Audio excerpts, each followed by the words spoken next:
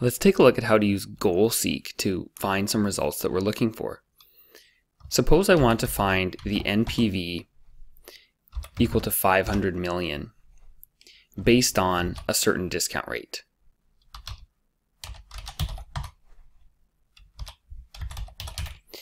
In order to do that, what I'm going to do is use the goal seek function.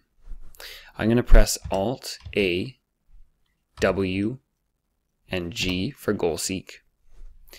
So what I want to do is set this value, set the value of the NPV equal to 500 by changing the discount rate and press OK. I can see here that the discount rate is 25% to get to a 500 million NPV. I'm going to press cancel and type that answer in this cell here. So now what I've done is I've just essentially taken a note of what the discount rate has to be to get a $500 million NPV. All right, let's do another example. Suppose that I want 2020 net income to be 10 million. And I want to get there by changing the 2020 revenue. So how much revenue do we need in 2020 to get 10 million of net income? I'm going to press Alt A, W, and G for goal seek.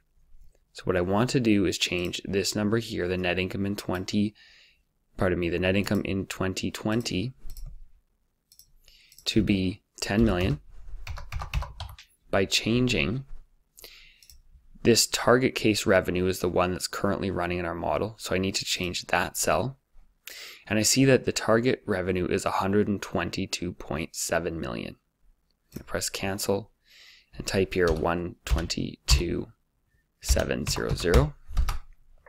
So that's the revenue that's required to get there.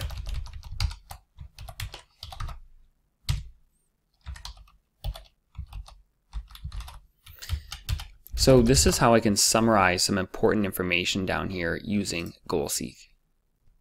And just a little bit of housekeeping here. I'm going to put a border, Alt HBP, to put a border across the top there. And here I'm going to say goal seek analysis in brackets what if. And I'm just going to put a border over this section here, Alt HBP. And I can select these cells here, press Shift Spacebar and Alt DGG to group those.